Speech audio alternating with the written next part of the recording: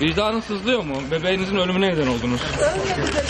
İş bulmaya gittim. İşte geldiğinde çocuk nasıldı? Efendim? Çocuk, bebek Çocuğa bakmadım ama çocuğu boşalttım. hiç bakmadım. Yok bakmadım. Eve gelip çöpü boşalttı ama bebeğine bakmak aklına bile gelmedi. Anne ve babasının evde tek başına bıraktıkları 4 aylık damla bebek ihmal kurbanı oldu. Hiç bakmadım. Yok bakmadım.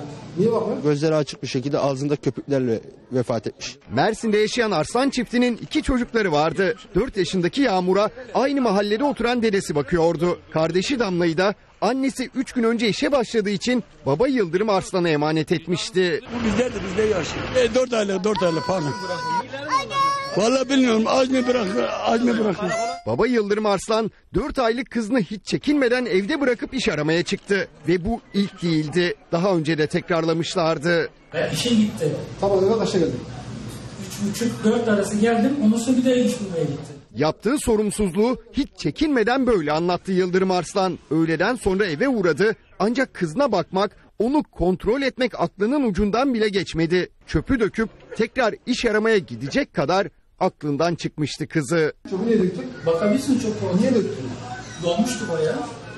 Ben de bunu döktüm. Ondan sonra da iş bulmaya gittim. Yıldırım Arslan akşam 6 gibi eve döndüğünde Damla bebek artık hayatta değildi. İddiaya göre kendi kusmuğunda boğularak can verdi.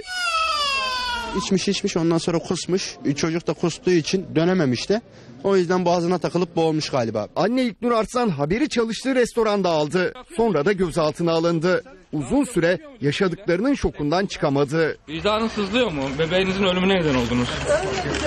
Daha önce bırakıyor muydunuz böyle? Damla bebek sessiz sedasız toprağa verilirken anne babası da ihmal sonucu ölüme sebebiyet suçlamasıyla mahkemeye çıkarıldı. Baba tutuklandı. Anne adli kontrol yasası kapsamında serbest bırakıldı.